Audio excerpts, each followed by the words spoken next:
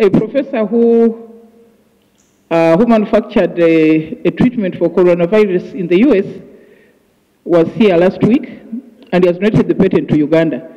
And within a fortnight, the treatment will be made here. It will be available on the market here in Uganda. Within a fortnight, it's being made by uh, a company called Day International, a young man from uh, Busoga. Yes.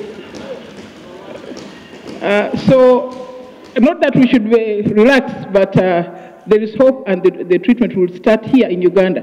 You can imagine. bw'atyo omukubiriza w'olukiiko lw'eggwanga olukulu the right honorable rebecca litala kadaga bwe yategeezezza paalamenti olunaku lw'eggulo nga bwe waliwo pulofeesa awangalira mu ggwanga erya amerika eyazudde eddagala ery'ekirwadde ekya covid-19 wakati mu kuwa bannayuganda essuubi nti ekirwadde ekitugumya ensi yonna mu kiseera kino kyafuniddwa eddagala spiika yategeezezza ng'eddagala lino bwe ligenda okusooka okukola wano mu ggwanga lyattu uganda era nga lyakugenda ku katale oluvannyuma lwa wiikisi bbiri nnambirira wabula ekibiina ekitaba abasawo mu ggwanga kye uganda medical association kivudde ne kisambajja ebyogerwa nga kigamba nti mu nsi yonna tewali ddagala lyazuuse nti lisobola okuwonya ekirwadde ekya covid-19 oba okweweeza ekirwadde kino. Statement which was attributed to the Right Honorable Speaker of Parliament about a new treatment for coronavirus 19 on the floor of Parliament yesterday, the 16th of March 2020.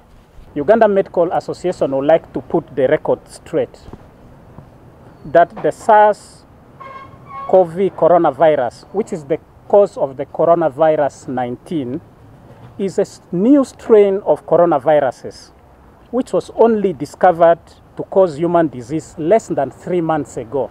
Prior to this, it was never known. In Wuhan, in China. To date, there is no single medicine that can cure this disease or a vaccine that can prevent it. Bannyonnyola nti eddagala lyonna okutuuka okukozesebwa liyita mu mitendera gya ssaayansi egiwera.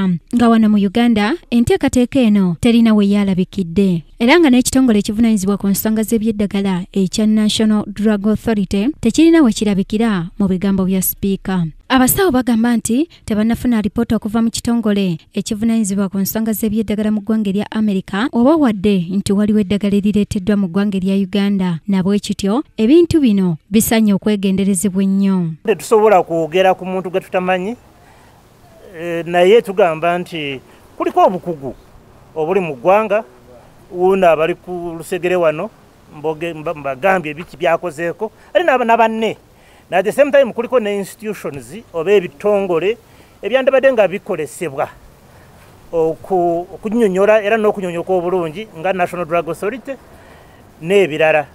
Era tugamba nti tekwandibadde kuwabisibwa singa ebyo byabadde nga bikolesebwa mu mbeera y'emu ne minisita w'ebyobulamu mu ggwanga jen ruth acheng ebigambo bya sipiika bisambaze. Bw'akinoganyiza nga bwe watannabaawo ssuubi nti eddagala ly'ekirwadde ekya koronavayirasi lyazuuse nabwe kityo bagenda mu maaso n'okukubiriza abantu okunaaba mu ngalo buli kaseera n'engeri endala ez'enjawulo okusobola okwetangira ekirwadde kino. Abasawo wano we basinzidde ne balaga engeri gye beeteeseteeseemu ku ngeri gye bagenda okweŋŋangamu ekirwadde ekya koronavayirasi singa kibalukawo mu ggwanga lyattu uganda.